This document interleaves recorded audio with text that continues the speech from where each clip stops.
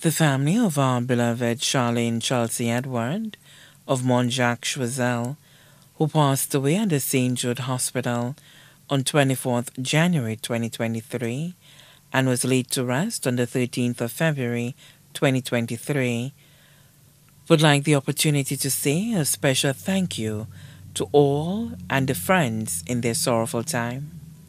Special thanks to all who called, visited, made monetary contributions, all who donated flowers, those who helped in the preparations of her lovely wreaths, assisted in the kitchen, one way or the other.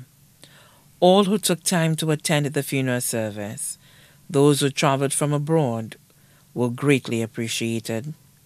Or the bus drivers who transported persons to the cemetery and back, we say a big thank you.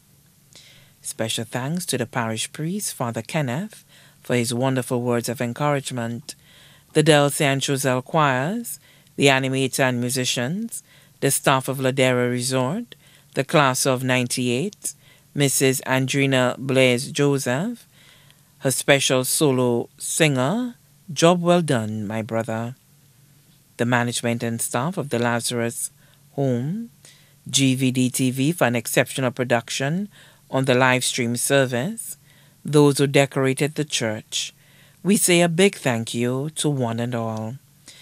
May she rest in peace as she's welcomed by the angels and saints. Once again, thanks to all.